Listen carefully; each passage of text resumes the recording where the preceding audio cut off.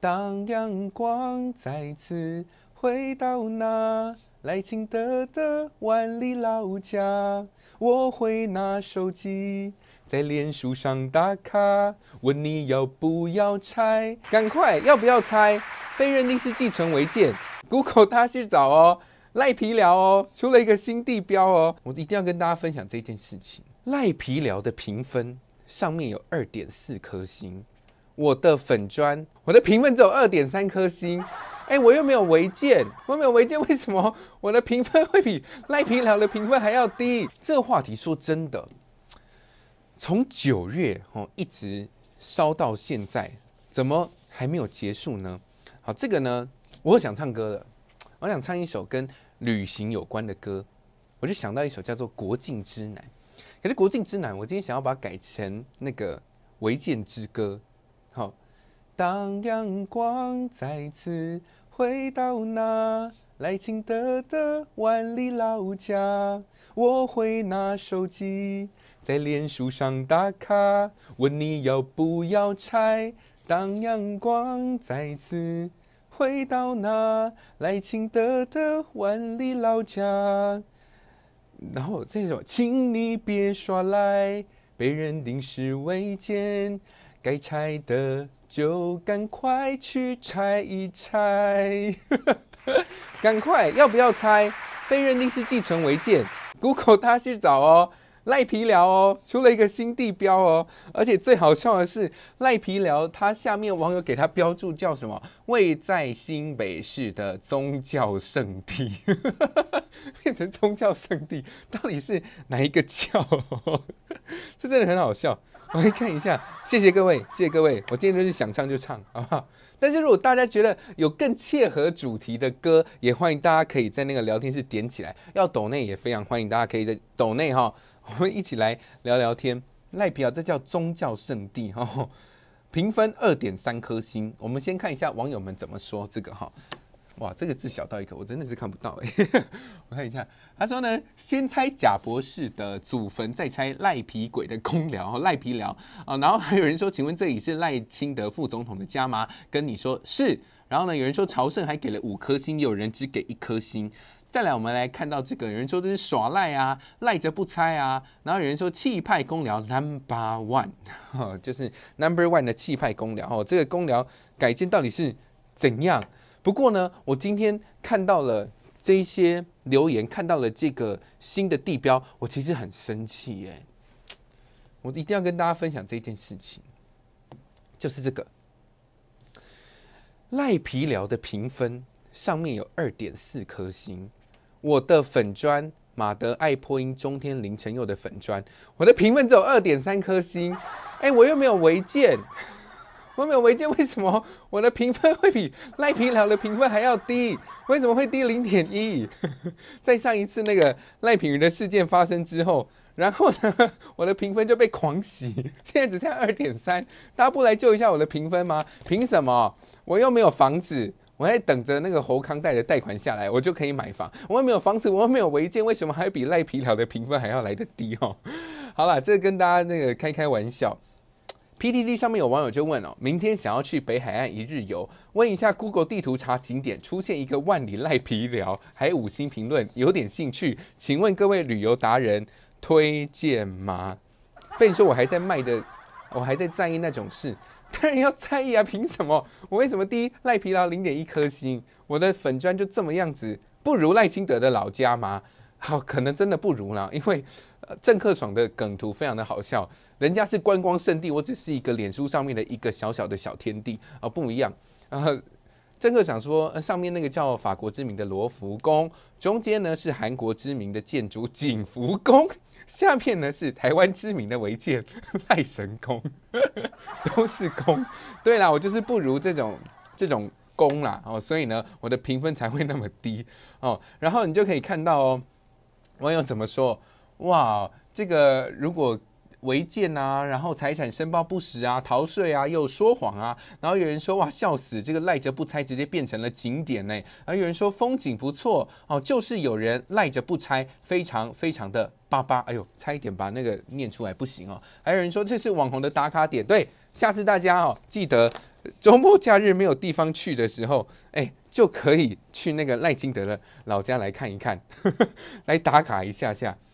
可是哦，我觉得更好笑的一件事情，因为我晚上在那边搜，我就发现，哎呦，不止赖皮寮，哎，旁边还有一个新的地标，叫做宪兵驻地，赖着不拆。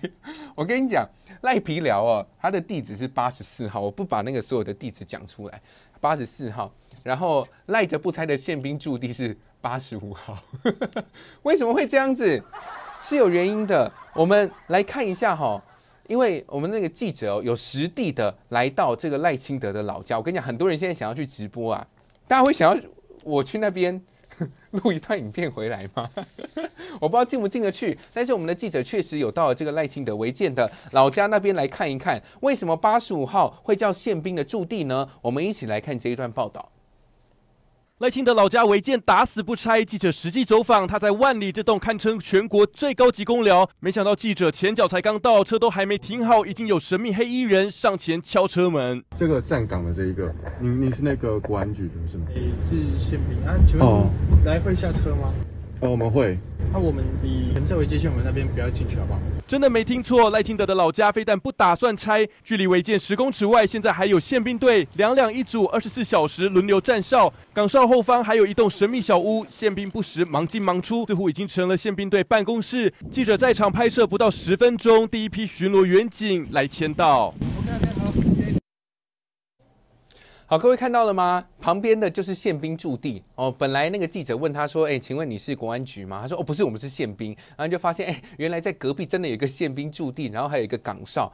这问题在这边哦，就是，哎，宪兵领的是我们国人的纳税钱呢，他们为什么今天领着国人的纳税钱，在赖清德的万里老家守着，帮他守老家违建？为什么？为什么是领我们的纳税钱去看管他们家的违建？这明明就是违建呐！这违建现在不拆，但是赖清德可以自拆啊！赖清德为什么不自拆？你看，就黑衣人就已经先走上来，来问一下，来关切一下。因为现在是怎样？这不就是一个公共空间吗？哦，然后呢？你看他们的警戒心很防备哦，是不敢给大家拍里面的什么东西吗？然后大家也都有看到那个赖清德那那那个家旁边的那个花园哦。也是弄得非常非常的漂亮，还有这个神秘小屋，你看这宪兵居然可以二十四小时在那边驻扎，我们的纳税钱这样花吗？你是一个违建呢，违建有必要这样子时时刻刻看紧吗？而且呢，记者一到，警察也跟着来巡逻，要搞成这样子草木皆兵，是觉得怎么样？是怕别人直接拿那个，你知道大富翁里面有那个怪兽卡。是怎样？是怕我们有怪兽卡，一开到那现场，那嘣嘣嘣嘣嘣嘣，就把这个房子拆掉吗？这要要这样子这么不给人家看违建，所以你看到我们的画面都只能从那个旁边的那个树丛里面啊，去稍微的看一下赖清德老家的现况。我们没有办法完完全全的直击，因为旁边的县民都管得死死死啊。是这样子享有特权的吗？是这样子这么样子？傲慢的吗？